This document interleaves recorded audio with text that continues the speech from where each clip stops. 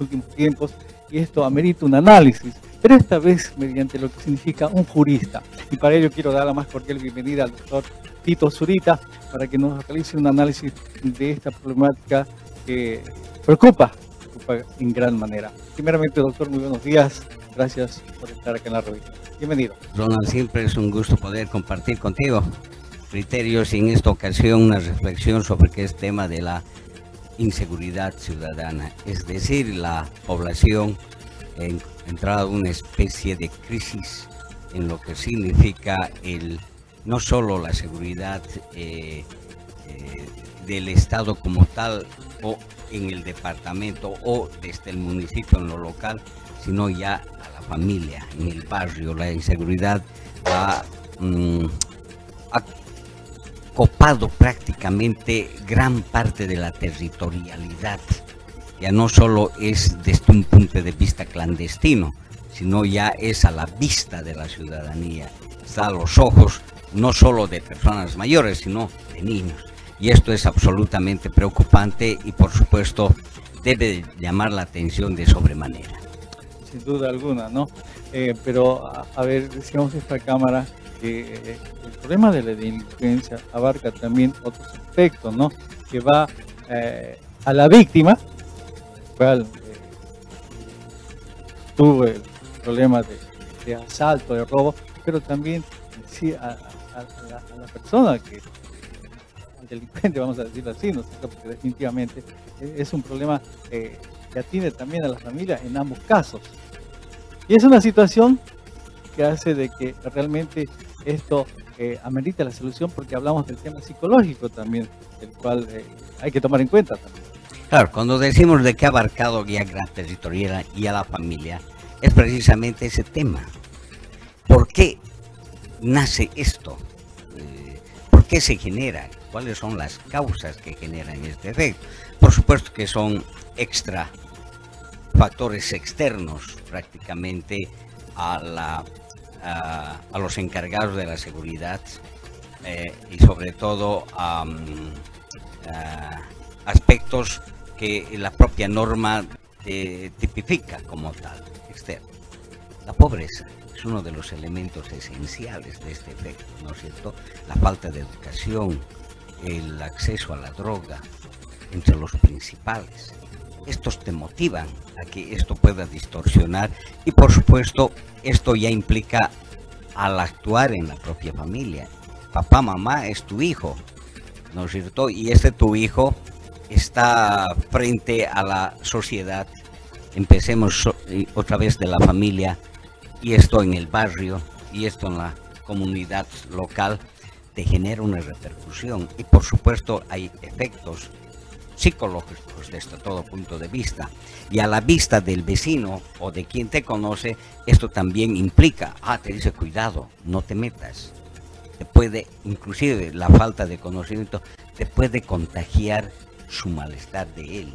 Entonces, hay una implicancia pues integral ¿no? en este efecto, tanto para la víctima y como para el victimario.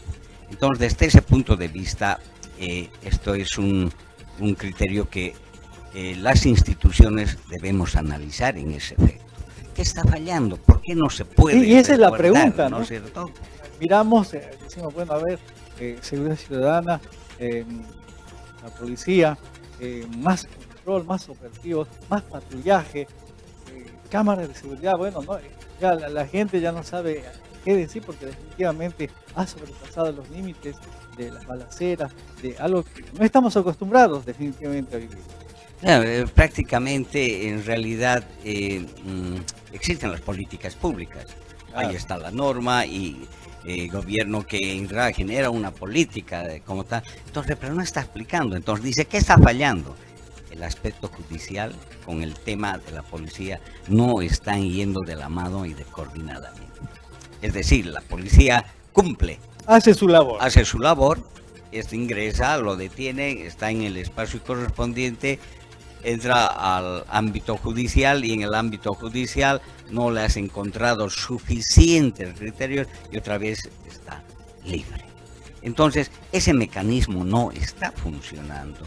Y cuando hay culpabilidades, también la cárcel no ha entrado a una reforma eh, estructural. Entonces, la cárcel se ha convertido en una especie de depósito de los indeseables, ¿no es cierto? Y ahí viene el tema de reforma psicológica, de reforma del ciudadano. Entonces se complica un poco más allá.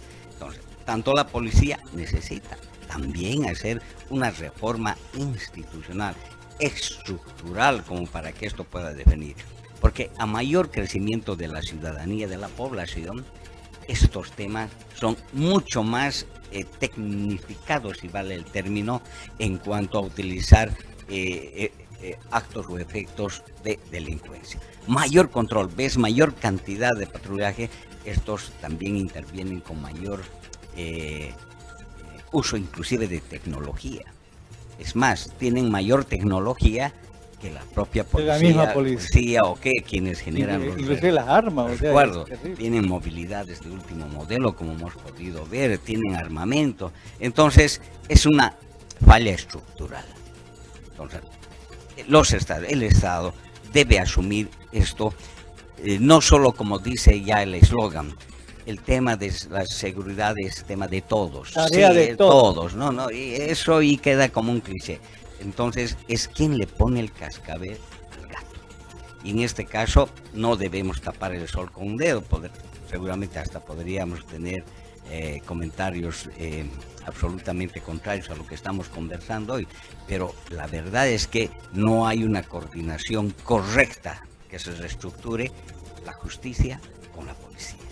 Ese es el elemento esencial, porque ellos son los llamados a resguardar el orden público, el Ministerio Público, ¿no es cierto? El defensor del pueblo. Porque siempre encontramos la, queja de la policía, pero nosotros hacemos nuestra labor, atrapamos a, la persona que ha infringido al, delincuente, pero desgraciadamente a las pocas horas ya está de nuevo y sale y otra vez de nuevo y reincide.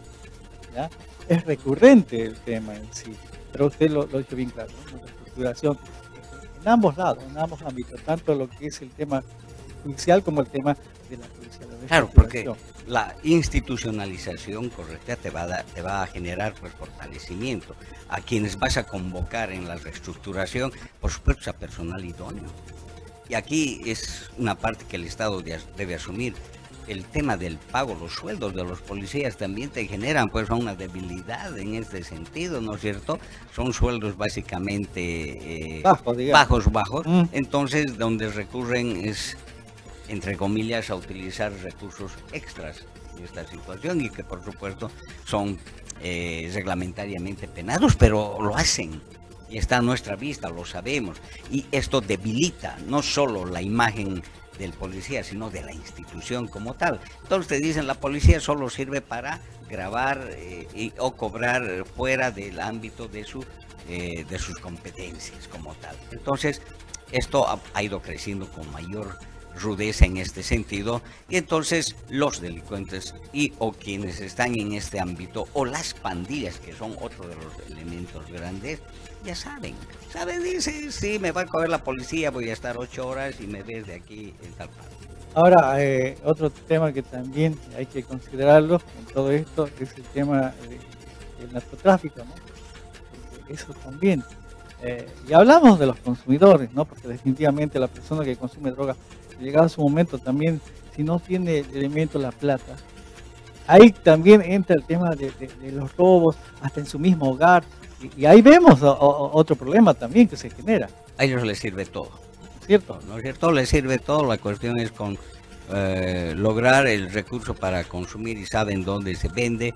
Y, no solo cuando el país se ha convertido ya en, de a poco en consumidor de este eh, estupefaciente, ¿no es cierto? Y, de, y de las diferentes modalidades hay un trabajo que eh, un estudiante ha hecho sobre este efecto. Entonces ya tenemos en el país la variedad que existe en Europa o en parte del mundo. Entonces también ya somos consumidores, nuestra población, nuestra juventud es parte y consumidora de este efecto. Por tanto, esto ha ido creciendo. Los atracos son también producto para este efecto. Ahí vienen los bares y cantinas, son otros de los centros. No estamos criticando al buen uso de este, esta forma de de ganar la vida, pero también son con doble efecto. Hay bares y cantinas que tienen no solo por el rubro definido que por la cual han tenido su autorización, sino estos los convierten, ¿no es cierto? Ahí tienen las violaciones. Todos estos efectos suman, suman, ¿no es cierto? Es una cadena. Es una cadena, es una cadena. Por lo tanto, concluyes en algo, concluyes, dice que está pasando. Entonces, debemos sacar una reestructuración de nuestra policía y esta debe ir de la mano con la reestructuración del sistema judicial. Esos son los elementos esenciales y acá viene, está constitucionalizado también la participación ciudadana, es decir, el control social.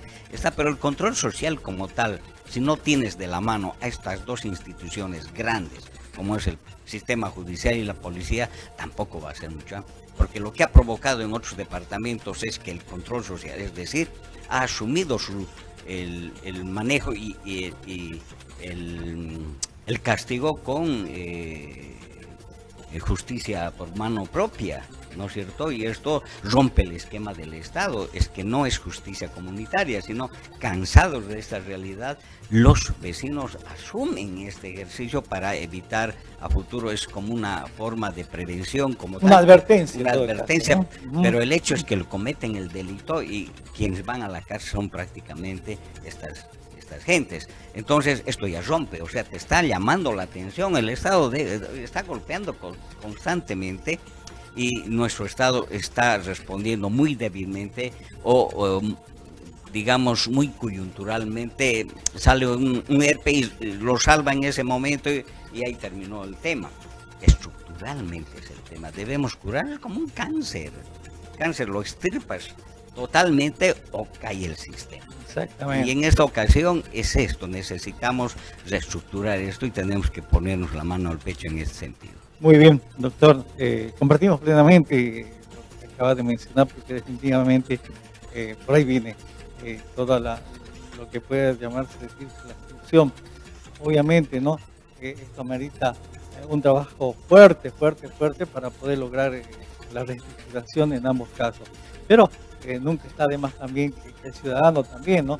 aporte de una u otra manera algunas situaciones para que no tenga problemas de salto, de robo también, porque a veces también pasa esa situación.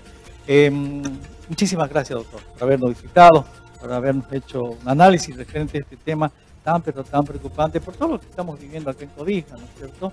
No nos olvidemos que Codija creció bastante vegetativamente también, pero eh, esto va de la mano con la delincuencia.